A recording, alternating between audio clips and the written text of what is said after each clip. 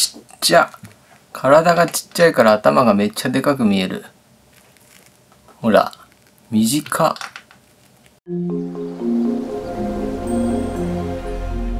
はい皆さんどうもこんにちは。ピピンエピ生き物チャンネルです。今日はですね大王平田の、えー、東ジャワですね。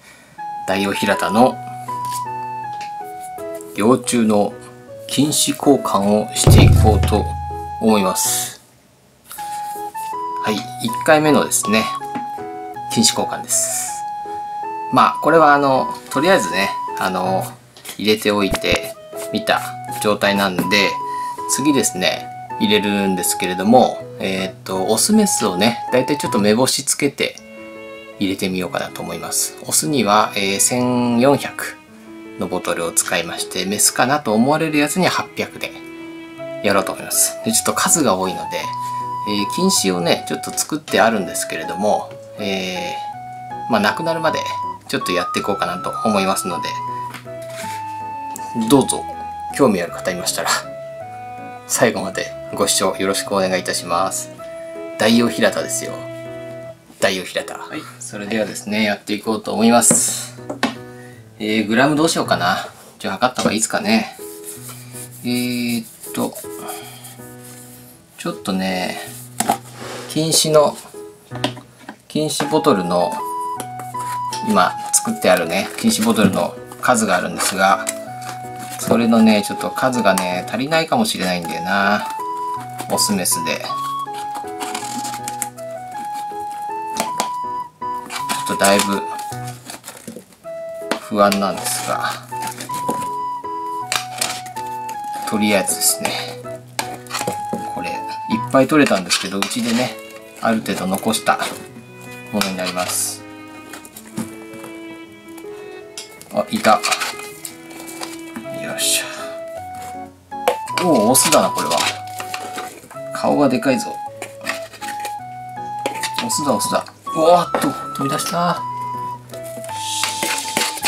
バッチリオスですね。では、まあ、はい、18g では、1300、あ、ごめん、400に入れておきます。これね、頭がでけえな。なんか、圧倒的にでかいんですけど。はい、次ですね。あ、次も結構食ってんだ。今年はですね、コロナウイルスの影響で、日本にね、やってくるはずだった、えー、虫もですね、ちょっとこう、いろいろなことで入ってこれなくなってしまってね、この大王平田とかもそうだと思うんですけど、フィリピンとか、えー、マレーシアとかね、その辺の便が止まってるようですね。だからこれは結構まあ貴重だと思います。まあ、収束すればね、元に戻るとは思うんですけど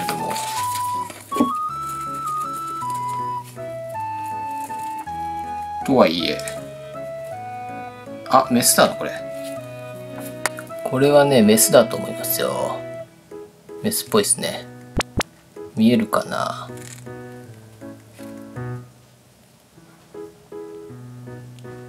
ほら、見えます？ちょっと黄色いのあるでしょ。このこれ。ほらほら。これがね、多分メスですね。で、頭も小さい。はい。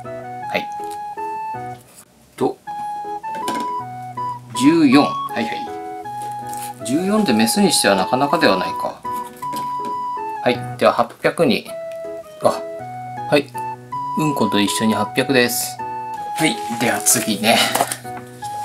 どんどんいかないと終わんないな、これ。まあ、ちょっと動画の尺の関係上、これ、あれだよね。大きいのだけ流そう。おお、でけえほら、これはでかいよ。でかほら、もう、スプーンからも溢れ出る、この、ね、美味しそうなやつ。はい。ワイルド F1 ですね。おお25なるほどね。結構ねあの平たく割るとでかくなるんですけど1本目でねでかすぎちゃうと体重乗せすぎちゃうとねなかなか先が伸びにくいとか羽化不全の可能性もあるということで。難しいんですけどこのぐらいがちょうどいいですね。はい。じゃあ1400いいんです。いいな。こういう大食いな平田は安心だな。ヒペリオンは小食平田に私はもう分類されましたんで。小食平田。あとマナドもですね。ちょっと食根が入れたやつに出てきてるんですがマナドもなんとなく小食平田あこれメスですね。な気がしますね。はい、えー、これね 13g でした。メス。もうこれはねもう本当にあの待機してたに等しい感じのあれなので。次が本番なんですけどねあこれメスっぽいな。あ。これオスかな？頭大きいですね。うんこれはオスですね。これはオスですね。20ない。これなんか変な食い方してんな。あメスだな。食いかすの色が変だな。腸内細菌が良くないのか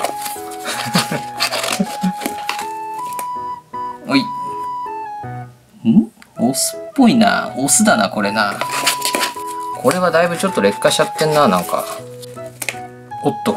あメスですね。よし。次次。メスは平田の場合はね。あこれメスだし。メスはねあのいっぱいいてもいいですね。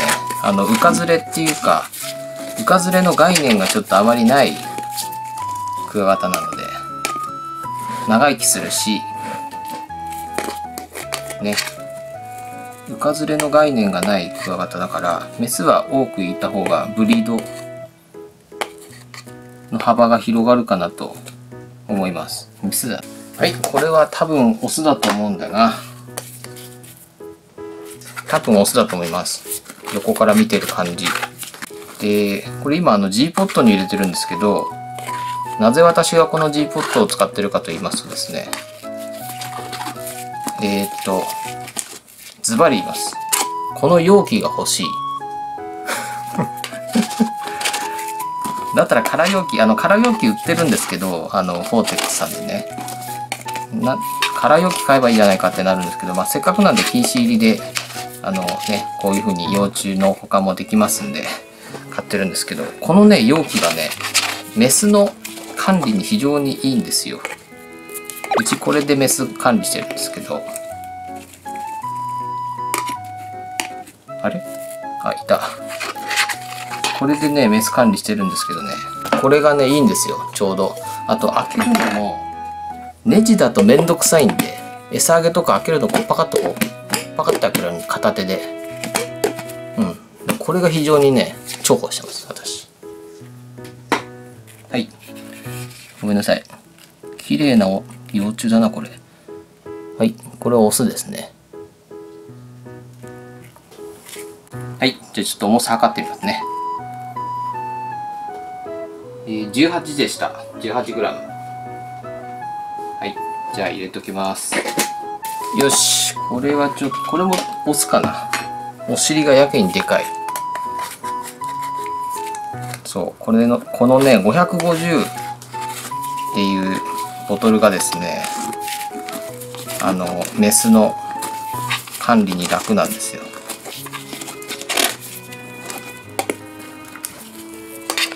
なのでちょっとこれをね まあ今後まあ、ね、今後ねあのこのケースが満タンになったらちょっとどうなるか分かりませんがこれがねいいですよ。あれ？オスだな。あ違うメスだな。メス。メスだな。はいじゃあちょっとグラムを測ってみますが 13g ですね。メスなので800ボトルに入れときました。はいじゃあこれもオスかな。いやもうじゃないし。これはオスだなどうかなどうかな。大きいの。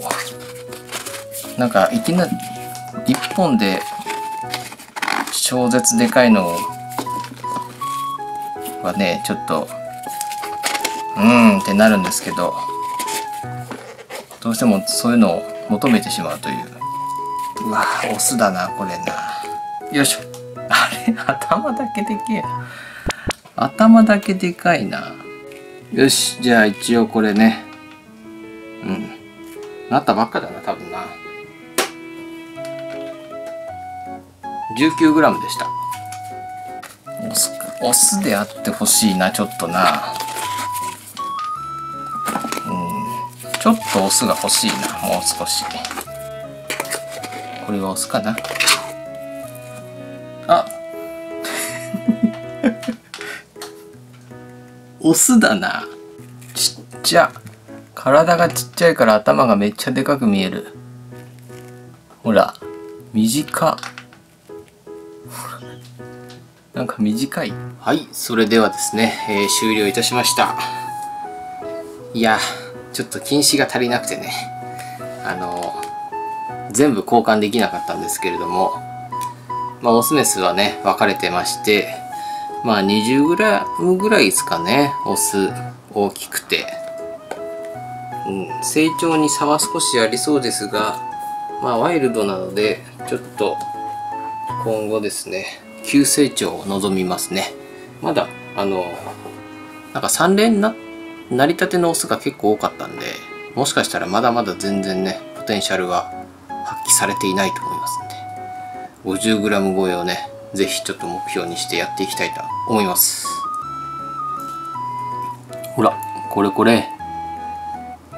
どうすかこれ。ダイオウヒラタクワガタえー、アルゴプーロアルゴプーロか読み方が。うん。えー、東ジャワのねアルゴプーロさんです。ねこのね顎がね面白いですよね。形がね。いやいやいやいやどうでしょうねこれね。はい。なので何ミリぐらい出てくるかな。うん。大王平田のアベレージ飼育サイズはどのぐらいでしょうね？これはどのぐらいなのかな？90ミリとか言ったらすごいかな。うん90いったら多分化け物ですね。これ多分82、3ですね。今見たら。90いったら化け物だな多分な。この顎があるから。この顎がねあのこう曲がってるんで。ねこれやばいな。はい。まあね、一応まあ大王平田って言ってますけど、これ平田クワガタっていうか、あの、あれじゃないんですよ。あの、ティタヌスじゃなくて違うんですよ。これ独立したもう、えー、なんですよね。だから少しちょっとこの辺ね、あの分類の、あの、これだけちょっと違うんですよね。独立してるんですよ。平田クワガタって言ってるけど。うん。まあ、ヒペリオンも同じですけど、なんか、ね、はい。では今日はこの辺で終了です。またですね、この幼虫の様子気になる方いましたら、ぜひチャンネル登録してみてください。では今日はこの辺で失礼いたします。また次の動画でお会いいたしましょう。